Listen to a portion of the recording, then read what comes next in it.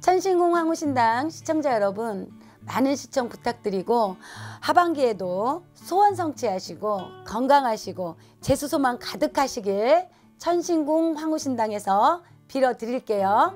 구독, 좋아요 눌러주세요.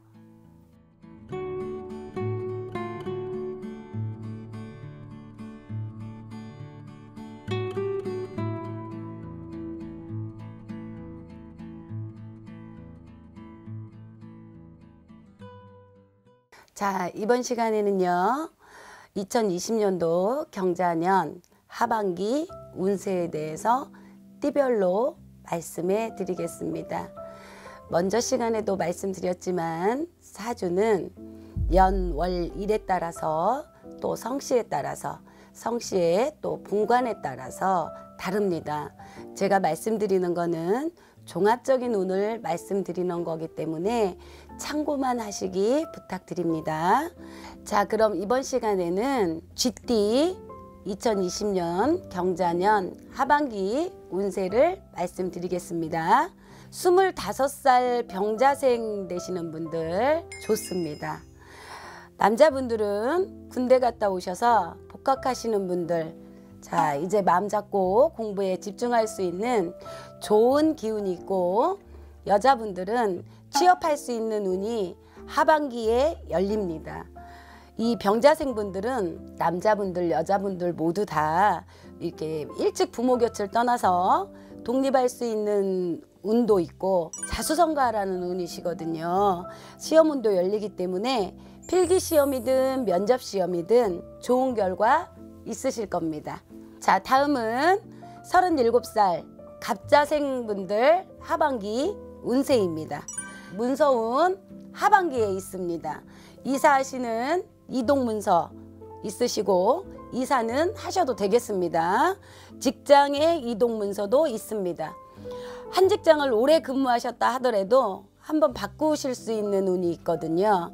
직장에서 명퇴를 원하는 직장이 있으면 명퇴하셔서 퇴직금 가지고 다시 시작하는 마음으로 다른 직장 알아보셔도 취업률이 높고요. 또 다른 사업 준비하셔도 나쁘지 않습니다. 이 점 참고하시고 37살 갑자생분들 아, 하반기에 들어오는 문서운 이동 문서운 꼭 잡으시기 바랍니다. 자 다음에는 49살 임자생분들입니다.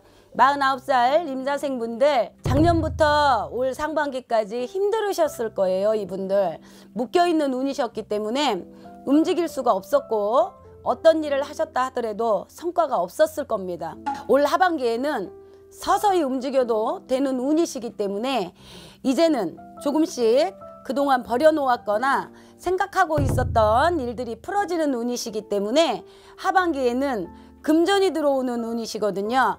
작년 올 상반기에 금전 손해를 보셨다 하더라도 하반기에는 나갔던 금전 들어오는 운이십니다. 자, 49살 임자생분들 하반기 운이었고요.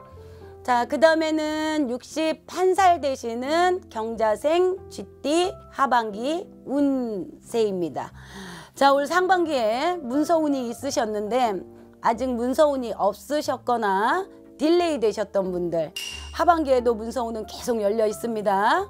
코로나 여파도 있었고 이분들은 생각을 너무 신중히 하시기 때문에 그냥 놓치는 경우도 많아요. 오래된 작은 문서 정리해서 큰 거 하나로 묶어 놓으시라는 운이시거든요. 그러한 문서 운이시거든요.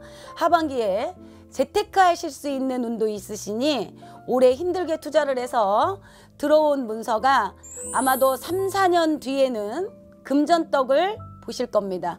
건강은 조심하셔야 되고 특히 신경계, 혈액이나 핏줄 쪽 많이 조심하셔야 되거든요.